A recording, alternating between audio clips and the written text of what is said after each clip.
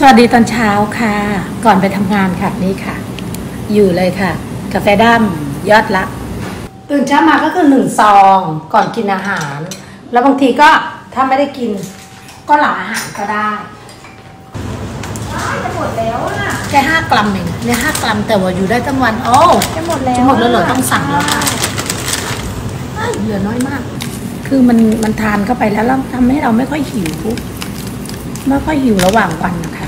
อื้อหือ เวลาชงเลยฉันชอบเอามาไว้ใกล้ๆจมูกเนี่ยมันหอมมาก เนี่ยก็อยู่ได้ครึ่งวันละ ถุงหนึ่งก็มีสามสิบซองมันก็กินได้ได้หนึ่งเดือน ถ้าคนกินกาแฟซองเดียว แต่พี่ไฮเนี่ยกิน ถ้าทำงานทั้งวันจะกินวันละสองซองสองซองก็อยู่แล้วคุณขาเป็นกาแฟดำที่มีรสชาติดีเลยทีเดียว เหมาะกับทุกคนที่ อยากดูแลคุมเรื่องการหิวเหมาะมาก เพื่อคุณก่อน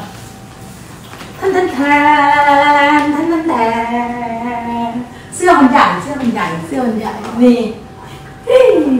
ค่ะคุณค่ะเคล็ดลับดิฉันก็นี่เลยค่ะ นี่นี่นี่นี่ยอดรัก ไม่ใช่สลักใจ ยอดรัก